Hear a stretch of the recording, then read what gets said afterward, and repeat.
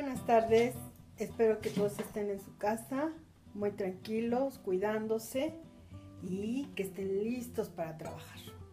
Hoy vamos a trabajar una actividad que tiene que ver con escuchar. Vamos a ver qué sonidos están a nuestro alrededor. A lo mejor no nos hemos fijado y hoy nos vamos a fijar, ¿sí? Les sugiero que si tienen un tapete se acuesten y cierren sus ojos. Y si no, busquen una sillita o un sillón y se van a sentar, papá, mamá, se van a sentar y van a escuchar los sonidos que haya y algunos que ustedes puedan producir. El ejercicio es el siguiente. Ya que estamos sentados o acostados con ojos cerrados, empezamos a escuchar y ya identificar. Por ejemplo,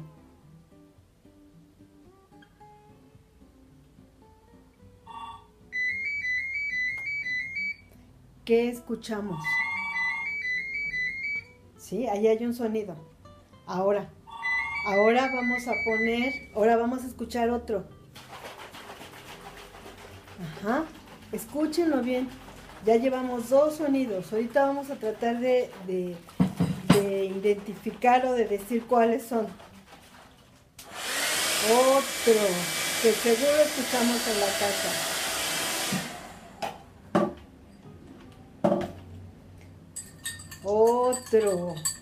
Vean, estos sonidos es muy común que estén en la casa.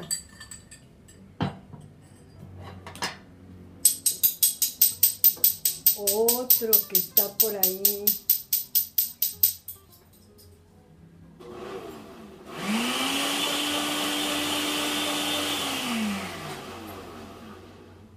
Otro, a ver, otro que es de la de casa puede estar en la cocina o en el baño. ¿Sí? ¿Ya lo identificaron cuál es? Ahora, ahora vamos a pensar a ver qué, qué sonidos pudieron haber sonado. ¿Alguien escuchó un teléfono? ¿Alguien escuchó la llave del agua? ¿Alguien escuchó cuando le echan azúcar a un café o a la lechita? ¿Alguien escuchó cuando agitan el agua?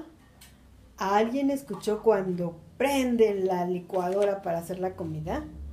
Bueno, pues de eso se trata el ejercicio, de estar sentados y de identificar qué sonidos.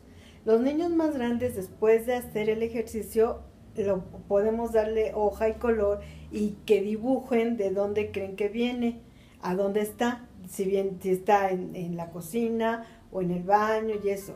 Y los niños más pequeñitos lo que podemos hacer es mostrarles adelante un sonido, una sonaja, un tambor, una cuchara, lo que tengan y decir que está adelante y que está atrás. O sea, esas dos, para empezar, su ubicación espacial es muy buena y además de tener atención. Esto tiene una gran repercusión en la formación de los niños porque aprenden a estar atentos y a escuchar a veces esa parte hasta nosotros los adultos nos cuesta trabajo de no somos atentos, no somos mm, sensibles a los sonidos. Y este es ir haciendo que los niños empiecen a identificar, que estén atentos, que, que puedan concentrarse, estar quietos y concentrarse para identificar.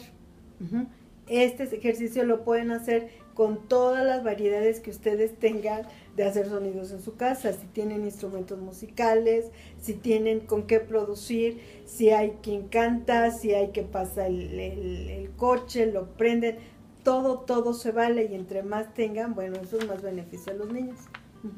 Les agradezco mucho, que pasen muy buen día y estamos para servirles. Nos vemos hasta la próxima.